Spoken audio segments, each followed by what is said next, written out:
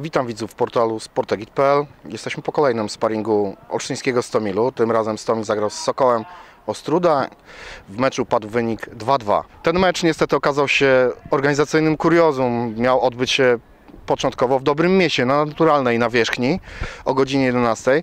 Niestety y, przed samym meczem drużyna pojechała, obie drużyny pojechały do dobrego miasta i za 15 y, 10 podjęto decyzję, że niestety ten mecz nie może odbyć się na zmrożonej y, nawierzchni w dobrym mieście. Oba zespoły wróciły szybko do Olsztyna i zaczęły grać tutaj na sztucznej nawierzchni w olsztyńskich Dajtkach.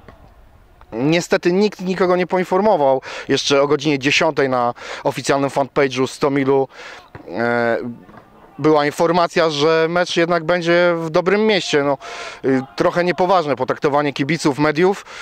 Niestety kładzie się to znowu jakimś e, cieniem na organizacji, na wizerunku tego klubu. No cóż, wróćmy do samego spotkania. Ten mecz miał dwa oblicza. W dwóch połowach y, wystąpiły trochę dwa inne zestawienia Stomilu. Pierwsza połowa pod dyktando Stomilu. mm, Stomil dominował, y, czyścił akcję Sokoła tak do 30-25 metra przed swoją własną bramką.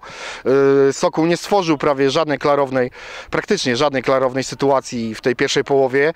Y, Stomil stworzył kilka pierwszej dogodnej sytuacji, właściwie bramki strzelonej przez Rafała Kujawę, niestety podobno ze spalonego. Nie widzieliśmy, bo jechaliśmy na ten mecz z dobrego miasta do Olsztyna.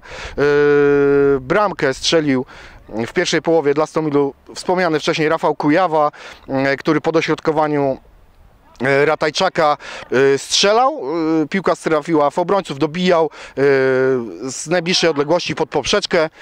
Stomil prowadził 1-0. Do końca e, połowy wynik się nie zmienił. E, Stomil miał jeszcze jedną lub dwie sytuacje w tej połowie, ale ich nie wykorzystał. W drugiej połowie e, trener Jabłoński dokonał kilku zmian, między innymi e, Skibę, który broni w pierwszej połowie, zastąpił Leszczyński. E, natomiast w linii obrony nastąpiły dwie zmiany.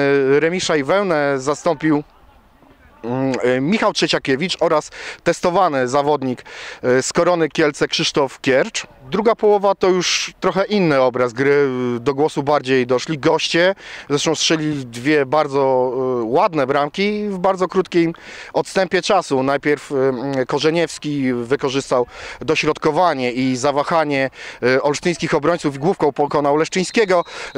W kilka minut później Jankowski mniej więcej z 20 metrów strzelił przepięknego gola, którego zresztą zobaczycie za chwilę na ekranie. Mm, To trochę poddenerwowało mm, olsztyńskich zawodników. Wrzucili się mm, e, do ataku, zaczęli przeważać w końcu. Y, Trener Jabłoński jeszcze rotował troszeczkę y, składem, y, wszedł jeszcze raz Nishi, wszedł jeszcze na, Paweł Głowacki na przykład. W każdym razie ta gra już wyglądała trochę inaczej.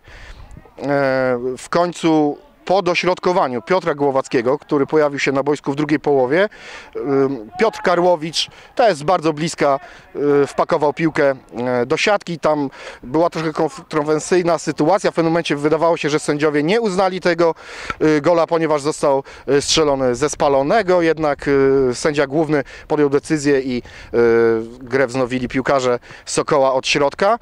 Sparring remisowy, tak jak powiedziałem wcześniej, dwa oblicza. Dobrze, że doszedł do skutku, natomiast no, znowu coś nie zagrało z tą organizacją. No, nie po raz pierwszy. Możemy się spodziewać, że pewnie nie po raz ostatni. Mam nadzieję, że takich wpadek będzie jak najmniej w olsztyńskim Stomilu. Mm, Jeżeli chodzi o wyróżniających się piłkarzy, mi ponownie podobał się dzisiaj Tsubasa Nishi. Y, W pierwszej połowie grał na lewej pomocy. Tam szarpał, próbował dogrywać dobre piłki. W drugiej połowie wystąpił, mm, wszedł ponownie i wystąpił na środku pomocy i wydaje mi się, że był najlepszym zawodnikiem olsztyńskiego zespołu. Mm, W poniedziałek Stomil wyjeżdża na mini zgrupowanie y, przed meczem z Olimpią Grudziądz. Y, Wyjeżdżają w poniedziałek o godzinie 9. Trener Jabłoński poinformował, że planowany sparring z Gryfem Wejherową niestety nie dojdzie do skutku.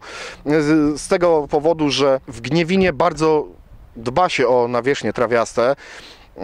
I najprawdopodobniej ta główna płyta, na której mógłby się odbyć mecz, niestety nie będzie się nadawała do użytku. Może ktoś się boi, że będzie zniszczona. W każdym razie do tego sparingu nie dojdzie. Możliwe, że jeżeli znajdzie się jakieś boisko, Stomil w ciągu tego y, czterodniowego zgrupowania rozegra jakiś mecz, ale to jeszcze nie jest ustalone. E, Zawodnicy y, mają z Gniewina wrócić w czwartek. W sobotę startuje liga i z tego miejsca zapraszam wszystkich kibiców Stomilu na stadion przy Alei Piłsudskiego. Do zobaczenia, pamiętajcie, polubcie nas na portalach społecznościowych, mm, oglądajcie nas.